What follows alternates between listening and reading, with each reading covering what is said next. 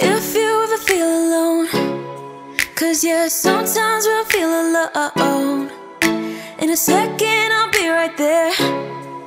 Turn around, 이번 화는 제가 으뜸 언니를 대신해서 진행하게 되었는데요. 오늘 제가 다은 씨한테 해볼 메이크업은 아리아나 그란데 커버 메이크업인데요. 먼저 사랑스러운 그 특징은 끝에가 약간 C자형으로 빠지되 로즈와 만나는 앞머리가 되게 키포인트 같아요. 그란데 언니는 약간 촉촉하게 그리고 over lip으로 그려가지고 glossy하게 발라줄게요. 그 외국 언니들 하면 contouring이잖아요. 두꺼워 보이진 않지만 contouring 할 수 있는 몇 가지 팁을 좀 알려드리면서 오늘 메이크업을 한번 해 보겠습니다.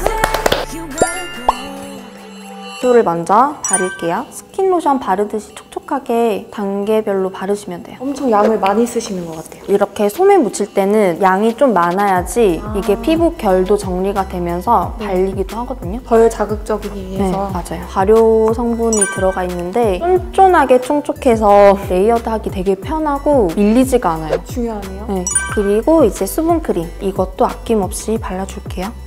선크림이나 아니면 primer 같은 베이스 제품으로 한 번 더 유분기를 조금 올려줘야지 파운데이션을 올렸을 때 matte하지 않아요. 그란데가 어두운 피부톤인데 다은 씨는 그렇진 않아가지고 그냥 자연스럽게 피부톤에 맞게 하되 윤곽 정도는 잡힐 수 있는 베이스를 진행해볼게요. 약간 밝은 거랑 어두운 건데 자연스럽게 보일 수 있게 섞어가지고 궁금해하시는 분들이 많은데 이거는 shop에서 다들 많이 쓰시는 제품인데 양 조절할 때 피부가 다 결이 이렇게 있잖아요. 그래서 결대로 이렇게 한 번씩 펼쳐주는 용도? 제가 겉바소촉이라고 했는데 이런 그란데 메이크업 했을 때는 eye 메이크업도 빡이고 brow도 빡인데 피부까지 광이 나면 너무 부해 보일 수도 있어서 속은 촉촉하게 할 때 밖에는 matte해 보일 수 있는 질감으로 표현하려고 하거든요. 그런데 메이크업이 사실 외국 언니들 메이크업에 비해서 되게 사랑스럽고 네. 진짜 좀 따라하기 편한 메이크업이거든요. 과하지 않고 네. 연말에 포인트로 하기 좋은 메이크업 같아요. eye 메이크업을 할 때는 눈 주위 톤이 깨끗해야 돼요. 그래서 이런 liquid concealer를 사용해서 약간 좀 잡아줄게요. 진짜 자연스러운 톤으로 그때만 살짝 커버할게요. matte하진 않는 liquid concealer를 챙겨왔어요. 이 정도로 어두운 톤으로 contouring을 해볼게요. 딱 봤을 때 광대가 들어가 볼 수 있는 밑에 라인하고 턱선 이런 데 샤프해 보일 수 있을 정도로만 contouring이 들어가면 될 것 같아요. contouring 하는 거 보면은 스틱 파운데이션으로 막 이렇게 네. 그어서 하잖아요. 그러기에는 너무 두꺼워져서 최대한 얇게 저도 집에서 contouring 혼자 했다가 네. 나갔는데 깜짝 놀랐거든요. 막 까매져가지고 오늘 꿀팁을 받아서 해봐야겠어요. 밝은 데서 하셔야 돼요. 이런 거 바르실 때는 손으로 해도 되기는 하는데 더 밀착력 있게 하려고 저는 스펀지를 사용하긴 하거든요. 아니면 베이스를 사실 집에서는 쿠션으로도 많이 하시잖아요. 네. 에어 퍼프로 하고 근데 꼭 빨아야겠죠. 다음에 또할한 번씩 때는 빨아야겠네요. 25분 이렇게 되는 거 아니에요? 윤곽 잡을 때는 shading. 붉은기 없는 shading으로 꼭 선택하셔야 돼요. 붉은기 있는 분들은 톤이 좀 안 예쁘게 표현이 되더라고요. 윤곽 잡은 부분을 한 번 더 그냥 고정해주듯이 터치만 해주시면 돼요.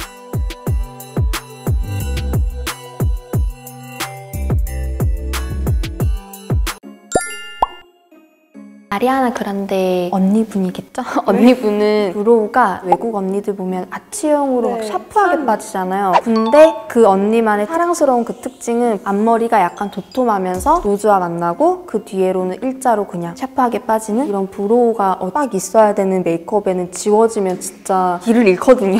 그래서 꼭 이런 파우더 처리를 해주셔야 돼요. 아예 그려지지가 않던데요? 맞아요. 눈썹이랑 nose가 이목구비의 딱 중심을 잡아주는 역할이거든요. 눈 앞머리 있는 부분만 연결되게 그 위에까지 연결감 있게. 다은 씨는 눈썹이 고루고루 나은 편이어가지고 많이 안 그리는 게 이렇게 사랑스럽게 표현이 될 것 같아서 저는 메이크업 할 때 눈썹 그리는 게 제일 어렵더라고요.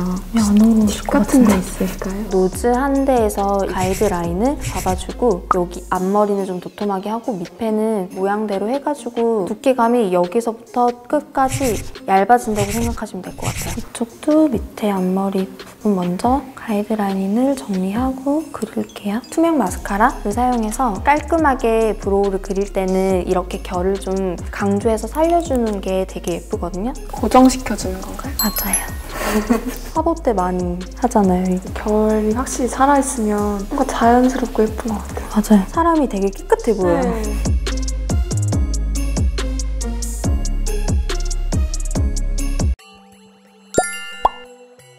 바로 어두운 섀도우를 올리기보다 좀 베이지한 화사한 톤을 먼저 좀 올려주시는 게 편하실 거예요, 메이크업하기. 뭐 이런 톤으로 눈을 내가 얼만큼 키울 건지를 음영을 주시면 돼요. 이마까지 이만까지는 안 되시고요. 그런데 언니 보면 라인을 엄청 강조하고 그거에 맞게서 완전 빡한 속눈썹 붙이더라고요. 구하기도 힘든 속눈썹이요. 음영을 먼저 좀 줄게요. 화사한 톤 올린 그거보다는 조금 색감이 톤 다운된 섀도우로 한 번씩 음영을 조금 더 줄게요. 다은 씨 눈 떴을 때 이 딱 쌍꺼풀 라인까지만 음영을 주시면 돼요. 그리고 오늘 라인을 올려서 그릴 거라 음영도 올려서 계속 주시는 게 좋아요. 이걸 어디까지 해야 될지 모르시면 brow 그린 끝선에 맞춰서 음영을 주시면 돼요. 그라데이션 할 때 좀 어렵다고 생각하시는 분들은 한번 중간에 딱 찍어서 거기에 한 번 터치하고 그 위로 살살 터치해 주시면 그라데이션이 자연스럽게 돼요. 언더는 위에 한 거보다 좀 더 밝게 똑같이 들어가면 언더는 다크해 보여. 위에 이렇게 두 개를 섞어서 했는데 언더는 이것만 사용할 거예요. 언더는 위에보다는 조금 밝게 표현해 주시면 돼요. 그란데 언니처럼 라인을 올릴 거잖아요. 근데 그거에 대해서 두려워하시는 분들이 많더라고요. 저요. 섀도우로 먼저 가이드라인을 잡고 그 다음에 하시는 게 좀 더 편할 거예요. 눈 뜬 상태에서 내 눈꼬리에서 그냥 위로 올려서 터치해주시고 그라데이션 해주시면 라인 잡는 그 길이 쉬울 거예요. 그란데 언니의 눈은 여기가 좀 트여 있거든요.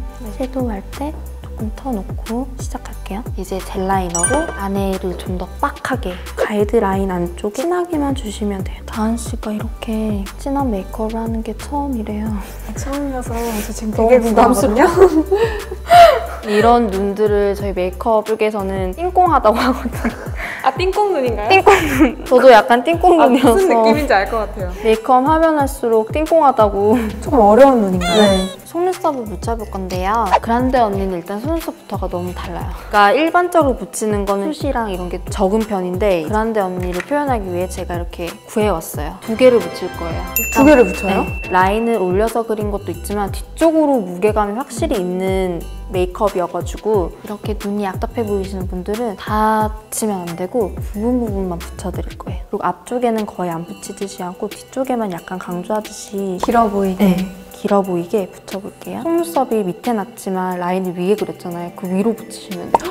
아이라인 위에 붙이는 네. 거예요? 위에. 얘는 이제 더 포인트 되는 이제 뒤쪽으로 무게를 조금 더 줄 거예요. 원래 눈썹보다는 위에 붙여서 이게 경계가 있거든요. 그거는 마스카라를 해서 붙여주시면 돼요. 마스카라를 안쪽에 본인 속눈썹에 끝까지 붙여가지고 왜 앞에는 안 붙였잖아요. 그래서 앞에는 최대한 길어 보일 수 있게 마스카라를 해주시면 돼요. 아이 메이크업 할 때 위에도 진하게 쓰면 밑에도 어느 정도는 좀 해야 되거든요. 보통 진하게 한다고 해서 언더도 진하게 들어가는데 그렇지 않고 점막은 하이라이트를 주는 거예요. 트여 보이는 효과인가요? 트여 보이기도 하고 다크한 메이크업을 할 때는 눈 앞에 하이라이트를 주면 딱 조명 밝히듯이 좀 화사해져요. 이제 그 밑에 음영감을 주시는 거예요.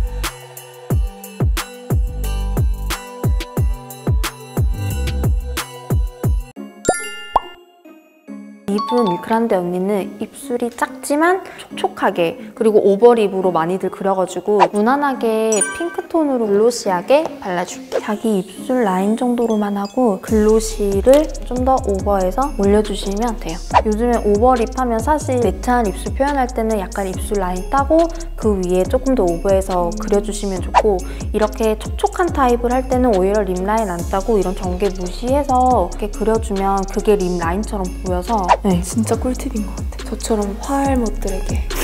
이렇게 해서 그란데 언니의 메이크업이 완성됐습니다. 아이 메이크업 할 때 되게 많이 해주셨잖아요. 무거워 보이거나 답답해 보이지 않죠? 지금 다른 사람들도 평소에 메이크업을 화려하게 안 하다 보니까 새로운 경험이어서 너무너무 즐거웠어요. 다음에 또 더 재밌는 영상으로 만나요.